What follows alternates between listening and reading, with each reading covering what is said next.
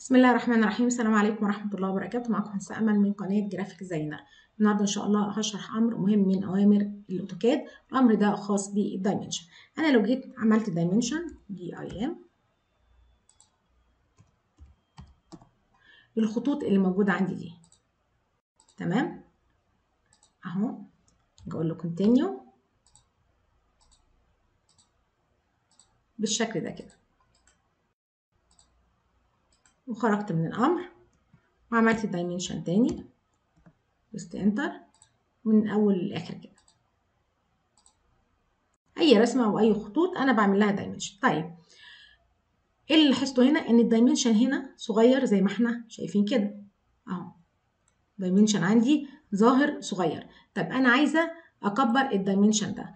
في طريقة أنا شرحتها قبل كده ودي هحط لكم الرابط في أعلى يسار الشاشة من فوق. وهنتكلم النهارده عن الطريقة الثانية الطريقة الثانية أنا هاجي أحدد ال dimension بتاعي كله بالشكل ده وأروح على annotation وأفتح السهم ده كده. وعندي هنا dimension style هاجي أفتح السهم هنا. بدل ما هو standard أنا هخليه annotative تمام؟ وبعد كده هروح على customization من تحت هنا وأختار بقى أحط صح جنب annotation visibility أهي. و auto scale و annotation scale التلاتة دول. ظهروا لي هنا تحت أهو. في المنيو اللي تحت اللي شايفينها دي ظهر لي تحت. طيب أنا هاجي بقى بعد كده أغير ال scale. عندي ال scale هنا واحد لاتنين. لو أنا فتحت السهم ده كده ال scale واحد لاتنين. طيب أنا لو عملته واحد لعشرة. أهو كبر ال dimension. طيب لو أنا فتحت السهم تاني وعملته واحد لتلاتين ظهر أكتر ال dimension. يبقى عن طريق هنا اهو ال scale إن أنا ممكن أصغر أو أكبر ممكن أقول له واحد لواحد.